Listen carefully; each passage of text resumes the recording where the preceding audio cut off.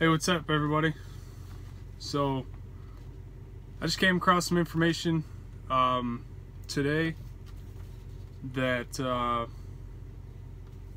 is kind of interesting, and I think it's going to help out a lot. It's going to help a lot of us, um, especially on the the reefer reefer side, as far as you guys' waiting time and stuff. Um, so I'm delivering at C&S Wholesale in uh, Brattleboro, Vermont. All right, and they have this paper up, and you know a lot of you guys.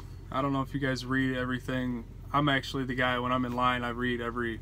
I'll read every sign that they've got put up, and uh, this one it, it kind of caught my eye. I, I actually liked what they're what they're trying to do. So this one says to all all carriers and manufacturers. Um, the subject is elimination of payment at receiving at the receiving docks for freight unloading services. Yeah. So, in effort to continue to improve warehouse receiving efficiency, C&S Wholesale Grocer will transition away from accepting payments at our receiving docks at facilities where it offers freight unloading services. We will be eliminating cash, check, and direct bill transactions altogether, as doing so will increase the safety and security for all parties involved. Uh, payments for freight unloading services will be deducted weekly and load level detail will be will be provided. So they're going to direct bill the customer for for the lumper fee and stuff instead of you actually calling the broker, you know, late at night trying to get a hold of somebody to give you a com check code and then you have to go in and wait, right? To get unloaded. A lot of these places, I was at one the other day you have to actually have the com check filled out and give it to them before they even start unloading you, right? You know, so this right here is going to help and it's going to eliminate that process. And I'm going to continue reading a little bit more of it because not all of them are doing this though. It's it's it's a majority, but I like it. Um, all right, so it says, please note that this change will only affect facilities in the in which C&S Wholesale supports the freight unloading services, and that any of our locations supported by the third party. Uh, the third party partner, Capstone Logistics, or customer managed locations will not be affected. Uh, we have attached information below, below, detailing which C&S wholesale locations are supported internally versus which locations are supported by the capstone logistics or are customer managed. All right, C&S understands that this new process will require coordination between our manufacturers and the carriers that deliver into the C&S distribution centers. Our goal is to allow sufficient time for all manufacturers and carriers to receive and understand the C&S payment policy set up and to implement compliance practices. C&S will provide updates as we define a timeline.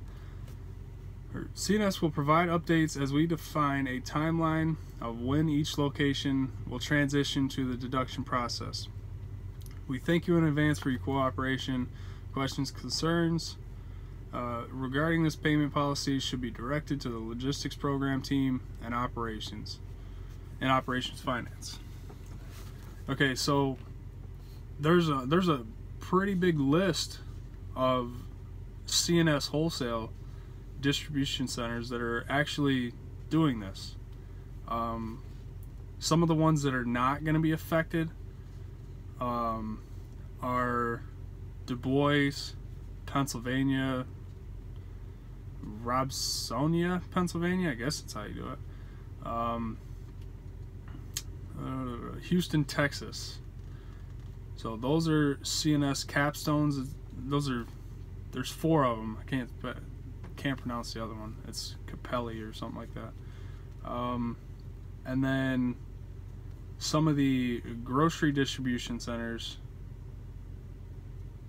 There's three grocery distribution centers that won't be affected, and there's five perishable places that are not going to be accepted. Um, I'm going to post a picture of this as the thumbnail. That way it's there and you guys can uh, kind of use it as a reference. So yeah, I, I think that's that's gonna eliminate a lot of our waiting time. So even if this ELD ELD mandate goes through, you know, I know there's a protest going on with it right now, but uh, that that's most of our waiting time right there. Is waiting for them to count the the stuff, waiting for them to to even start unloading you you know um, and i'm sure people that deal with brokers or even heck even company drivers that deal with dispatch night dispatch you know if you have to get a com check it's like you know if it's after hours it's like pulling teeth sometimes to get this check now I, I we actually don't have that problem where i'm at because i just call dispatch and they they issue me a code real quick. Uh, we have 24/7 dispatch. They issue me a com check, and then they bill it. Um, they just you know bill it to the to the broker for me. I just submit a receipt stuff like that.